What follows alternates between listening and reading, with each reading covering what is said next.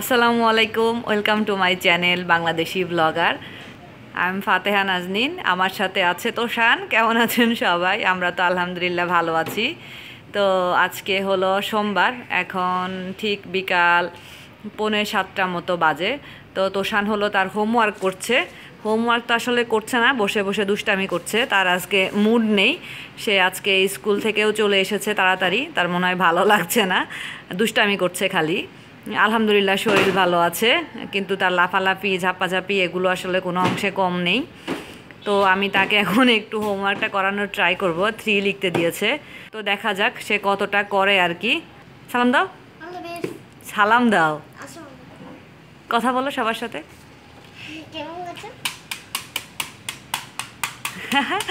সে আসলে তার মুডে ব্যস্ত তো ঠিক আছে তাকে আমি একটু লিখাই। আর আমি হলো রান্না করব। আমি হলো রান্না করব, ডিম রান্না করব, ডিম ভুনা করব।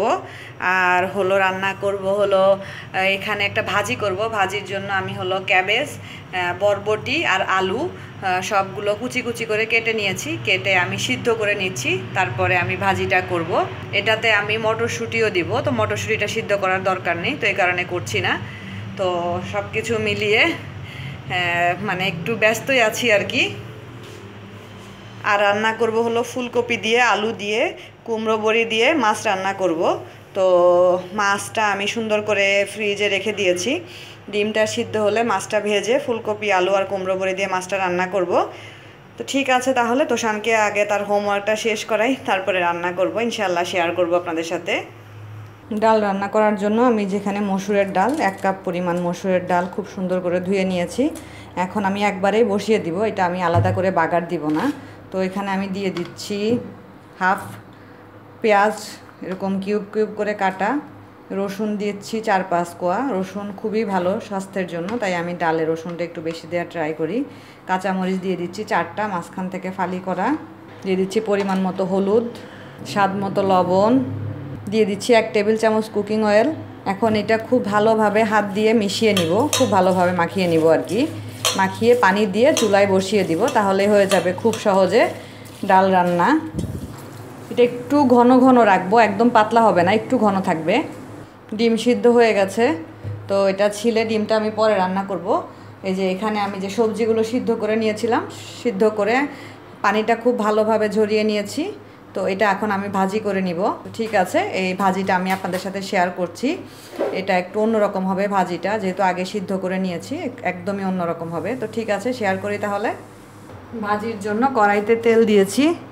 তেলটা গরম হয়ে গেছে। এখন আমি দেখি দিয়ে দিব এর মধ্যে কুচি করে রাখা পেঁয়াজ। পেঁয়াজ দিয়ে খুব ভালো করে নেড়ে চেড়ে হালকা ব্রাউন কালার করে নিব পেঁয়াজগুলো। পেঁয়াজগুলো মোটামুটি একটু একটু ব্রাউন কালার হয়ে আসছে। তো আমি এখন দিয়ে দিচ্ছি একটা তেজপাতা মাঝখান থেকে চিড়ে নিয়েছিলাম, আর এরকম ছোট ছোট দুই টুকরো দারচিনি, আর দিয়ে দিচ্ছি কাঁচামরিচ চার পাঁচটা, মাঝখান থেকে ফালি করে নিয়েছি। তো পেঁয়াজগুলো একদম ব্রাউন কালার হয়ে গেছে, আমি সেই সিদ্ধ করে রাখা ভাজিটা দিয়ে দিলাম এর মধ্যে। দিচ্ছি কতগুলো মটরশুঁটি, দিয়ে দিব হলুদ আর স্বাদ মতো লবণ। দিচ্ছি স্বাদ মতো লবণ। এখন খুব ভালোভাবে নেড়ে ছেড়ে এটা আমি একটু ফ্রাই করে নিব। এভাবে ফ্রাই করে দেখতে পারেন, আশা করছি ভালো লাগবে, খারাপ লাগবে না। কারণ বাঁধাকপি বা ক্যাবেজ সব সময় আমরা একরকম ভাজি খাই। একটু নতুনত্ব আসে এরকম করে ফ্রাই করলে। আমার শাশুড়ির একটা রেসিপি আছে, বাঁধাকপির আর কি, বা ক্যাবেজ যাই বলেন না কেন। এত টেস্ট ওটা উনি হলো বেরেস্তা করে বেরেস্তার সাথে তারপরে জিরা, তেলে, বেটে খুব সুন্দর করে রান্না করেন। আমি ইনশাল্লাহ মার কাছ থেকে রেসিপিটা নিয়ে শেয়ার করার ট্রাই করব আপনাদের সাথে। তো ঠিক আছে, এটা আমি এখন ভালোভাবে নেড়ে চেড়ে ভাজি করে নিব। তো ভাজিটা হতে থাক, ওই চুলায় তো ডাল হচ্ছে। ভাজি আর ডাল হয়ে গেলে তারপরে আমি মাছ বা ডিম রান্না করে নিব। ঢাকনা দিয়ে ঢেকে দিচ্ছি, হতে থাক তাহলে। ডাল রান্না হয়ে গেছে। ভাজিটা আমি ওই চুলায় শিফট করে দিয়েছি। ভাজিটা একটু আসলে অল্প আছে, আস্তে আস্তে ভাজি করতে হয়, এই কারণে সময় লাগছে। তো আমি ফ্রাই প্যানে তেল দিয়েছি, আমি মাছটা ভাজি করে নেব। মাছ আমি হলো, মাছ আমি হলো হলুদ, মরিচ আর লবণ সব একসাথে দিয়ে মাখিয়ে রেখেছি, ম্যারিনেট করে রেখেছি। তো মাছগুলো ভাজি করে নিব। তেলটা গরম হয়ে গেছে, মাছগুলো দিয়ে দিচ্ছি।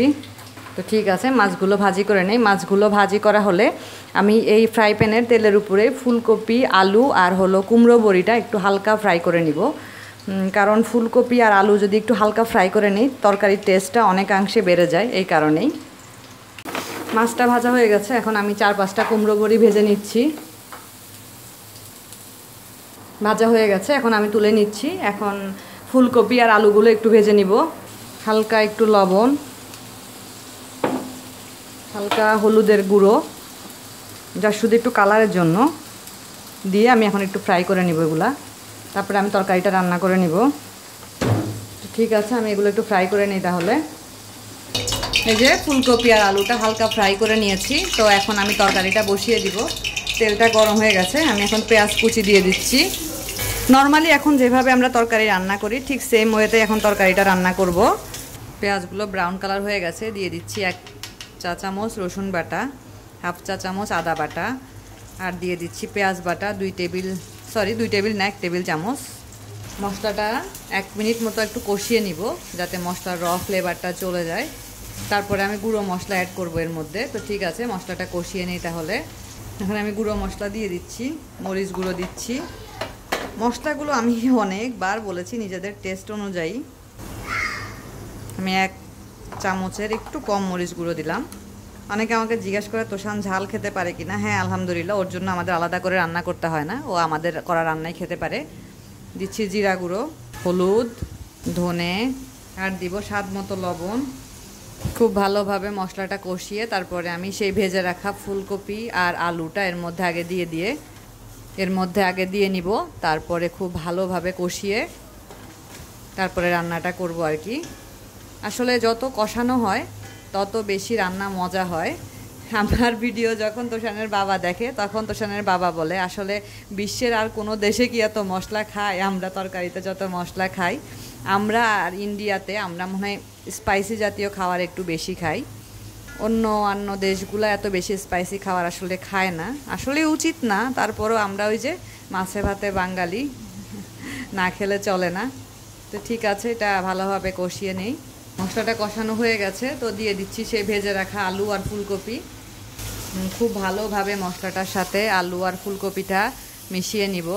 তো ঠিক আছে, এভাবে মশলাটার সাথে মিশিয়ে উল্টিয়ে পাল্টিয়ে দুই থেকে তিন মিনিট একটু ফ্রাই করে নেই। তারপরে আমি এখানে অল্প একটু পানি অ্যাড করব তরকারিটা কষানোর জন্য।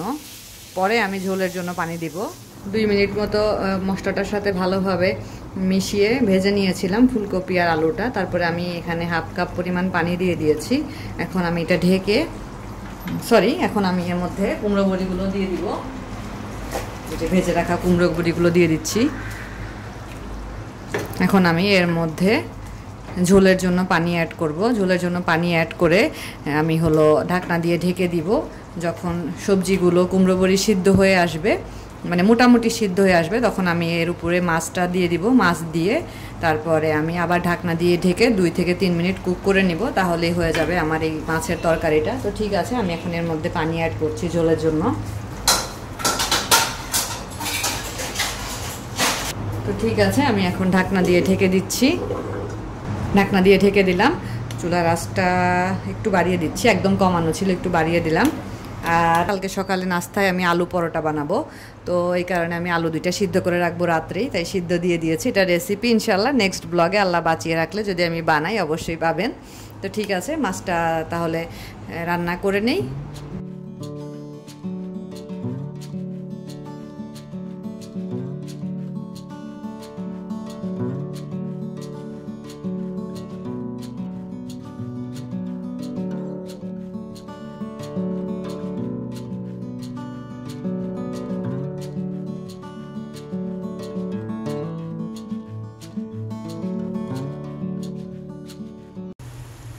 হয়ে গেছে মাছের তরকারিটা। তো এখন রেখে দিব এইভাবেই। আসলে আছে কেন জানি রান্না করতে ইচ্ছা করল, তাই মাছ, ডিম, ভাজি, ডাল সব একসাথে রান্না করলাম। তো এই কুমড়ো বড়ি দিয়ে এই মাছের তরকারি, ফুলকপি এটা খেতে আসলে খুব মজা লাগে। তো খেয়ে দেখবেন, রান্না করে ইনশাল্লাহ ভালো লাগবে। আর ওদিকে আলুটা আমার সিদ্ধ হয়ে গেছে। তো ঠিক আছে, বাইরে বৃষ্টি হচ্ছে, ভালোই বৃষ্টি পড়া শুরু হয়েছে। তো এখন ডিনার করবে তোষান, তোষানের বাবা। আমি দেখি কি খাই এখনও ঠিক জানি না। রাত্রে খাওয়া দাওয়া শেষ, তোষান দাঁত ব্রাশ করে ফেলেছে। এই যে, বাবু, দূর থেকে দেখো দূর থেকে দেখো তার ঘুমের সময়। সে শুয়ে পড়েছে ঘুমানোর জন্য। ঘুমানোর আগে সে একটু কার্টুন দেখে। আমি আসলে কার্টুন একটু তাকে দেখতে দেই। এতে করে ওর ইংলিশটা খুব মানে আলহামদুলিল্লাহ ওখান থেকে দেখে সে বলা ট্রাই করে। তার ইংলিশটা অনেক ইমপ্রুভ হয়েছে। আর পাপ, কি? পেপে পিগ না কি বাবা? পেপে পিগ না কি জানি? কার্টুন আছে না? বলো। পেপার পিকটা লাইক করো? হুম। পিক একটা কার্টুন আছে ওইটা থেকে ও খুব সুন্দর মানে ইংলিশটা ওখান থেকে অনেকটা সে শিখেছে স্কুলে যাওয়ার আগেই। অনেকগুলো জিনিস ওখান থেকে সে শিখতে পেরেছে। পেপা পিক না কি জানি আমার আসলে ঠিক মনেও নেই ও দেখে। আর ওর বাবা জানে নামগুলো আমি আসলে ঠিক অতটা জানিও না কি কি সব নাম। তো এই কারণে আমি একটু দেখতে দিই ঘুমানোর আগে সে একটু দেখে। আর আসলে বাচ্চা মানুষ একটু দেখবেই। তবে না দেখাটা বেশি বেটার তারপরেও একটু দেই আর কি, কী করবে? কিডস একদম মানে চাইল্ড লক করা আছে যে শুধু কিডস যে কার্টুন টার্টুন এগুলো সে দেখতে পাবে আদারওয়াইজ অন্য কোনো কিছু এখানে আসবে না। তো সেই সিস্টেম করা আছে সে ওটাই দেখে। তো এটা আমার মনে হয় সবার করা উচিত যে ইউটিউবে যখন বাচ্চারা কার্টুন দেখবে, শুধু কিডসদের জন্য আলাদা একটা ইয়ে থাকবে মানে সিকিউরিটি দেওয়া থাকবে যে ওরা এই কার্টুন টার্টুন এগুলোর বাইরে ছাড়া আদারওয়াইজ অন্য কিছু দেখতে পারবে না। কারণ ছোট মানুষ, দেখা যায় অনেক সময় আমরা স্ক্রল করতে করতে অনেক আপত্তিকর জিনিস চলে আসে, বাচ্চাদের চোখে পড়ে, ওরা আসলে অনেক বেশি কিউরিয়াস থাকে ওদের মাইন্ড ছোট বাচ্চাদের মাইন্ডগুলো অনেক বেশি মানে ভাবে যে এটা কি, এটা একটু দেখি, ওটা একটু দেখি। বিশেষ করে আরেকটু বড় বাচ্চা যারা, তাদের জন্য। তো এটা আসলে আমাদের প্যারেন্টসদের খেয়াল রাখতে হবে যে আমরা আমাদের বাচ্চাদেরকে কি দিচ্ছি, কি শেখাচ্ছি। তো এই কারণে এই জিনিসগুলোর প্রতি একটু খেয়াল রাখা আমাদের দায়িত্ব। আমি মনে করি সব বাবা মাই চায় তাদের বাচ্চা কাচ্চা সুন্দরভাবে, ভালোভাবে বড় হয়ে উঠুক। কোনো খারাপ কিছু যাতে তাদেরকে স্পর্শ করতে না পারে, এটা সব বাবা মাই চায়। আর তোষান বাচ্চাটা দুষ্টামি শুরু করে দিয়েছে, তার দুষ্টামি শুরু হয়ে গেছে। না ঘুমানোর আগ পর্যন্ত তার এই দুষ্টামি কন্টিনিউয়াস চলতে থাকবে। তো ওকে নিয়ে আমি এখন শুয়ে পড়ব। তো আমার রান্নাগুলো কেমন লাগে আপনাদের কাছে আমাকে জানাবেন। আমি আসলে খুব বেশি একটা পারদর্শী না বাট আমার অভিজ্ঞতা থেকে ট্রাই করি। অনেক কিছু আমি ইউটিউব থেকেও দেখে শিখেছি। আসলে এখন তো ইউটিউবে সব কিছুই আমরা শিখতে পারি রান্নার। তো ওখান থেকে দেখে দেখে অনেক কিছু আমার শেখা। তো ভালো লাগলে অবশ্যই আমাকে জানাবেন, আমার চ্যানেলটা সাবস্ক্রাইব করবেন, পাশে থাকা ছোট্ট বেল আইকনটা ক্লিক করে দিবেন। আচ্ছা আচ্ছা। সে আমার কানে কানে কথা বলল, কি বলেছে আমি কিছুই বুঝিনি। যাই হোক, ভালো থাকেন সবাই। নেক্সট ব্লগে ইনশাল্লাহ দেখা হবে, আবার কথা হবে। আজকের মতো এখানেই শেষ করছি। আল্লাহ হাফেজ। আল্লাহ হাফেজ বলো। বলো আল্লাহ হাফেজ বলো। আল্লাহ হাফেজ।